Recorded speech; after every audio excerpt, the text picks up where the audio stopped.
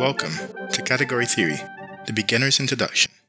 I am Martin Codrington, and this is Lesson 1, Video 3 of 6. Last time, we gave the definition of a category in general and a category of abstract sets and arbitrary mappings specifically. We saw that the definition consisted of two parts the data of the category and the rules these data must follow. We discussed the objects and arrows in S. Then, we immediately began to build our own concrete category based on S, music S. We define three objects and four maps. The objects were X, the set of pitch classes. This will form the basis of our formulations in music theory. Z, the set of pitch class names. There are 12 pitch classes, but as we saw in video 1, the pitch classes corresponding to the black notes on the piano had two possible names. So Z has size 17.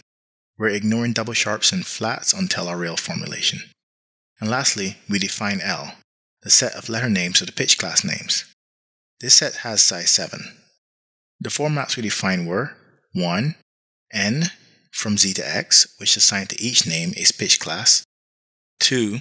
T from Z to L, which gave the letter name of each pitch class name.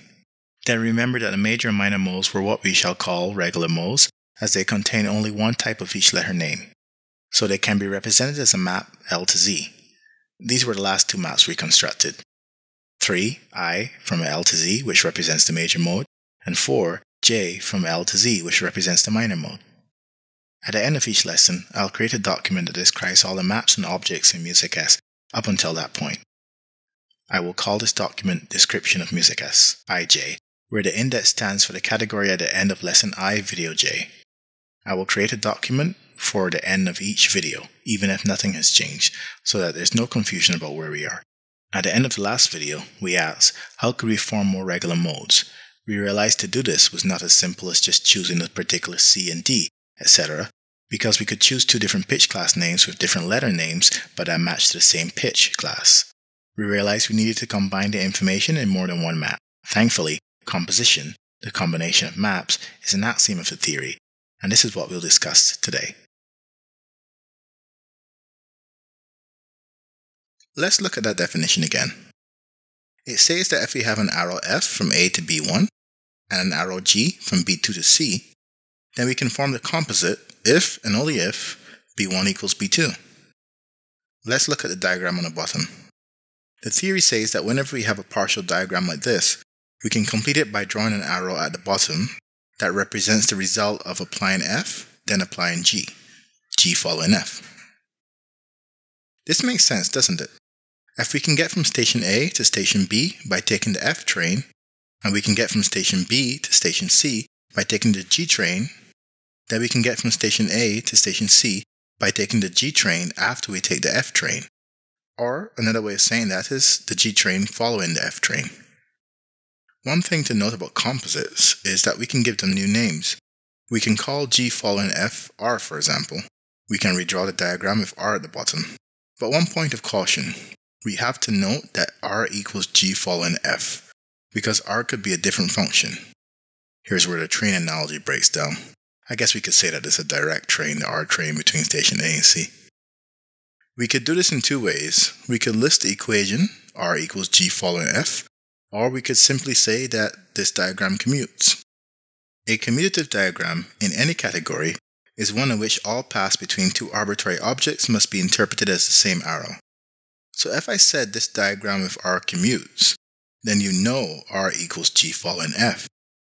And this is the heart and soul of category theory. Every definition I will give you can be reduced to a diagram that can be said to commute. And all formulations we do will be the same.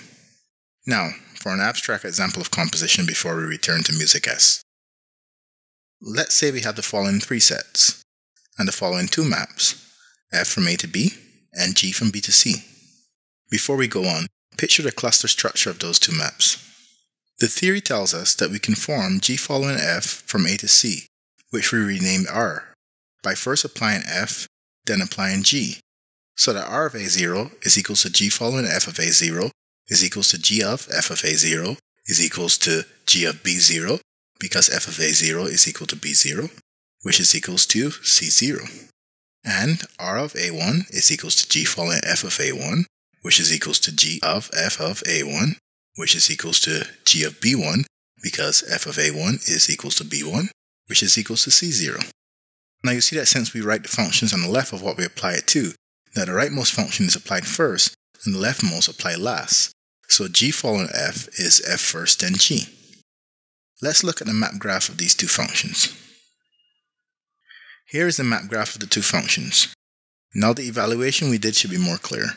The only elements that were present in our equations were a0 and a1 because the composite must be a valid arrow in the category, so in set it must be a function defined on each element of the domain.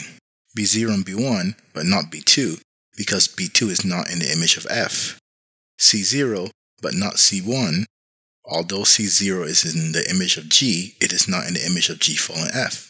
No element that f links to links to it. Now here is the map graph of the composite on the right.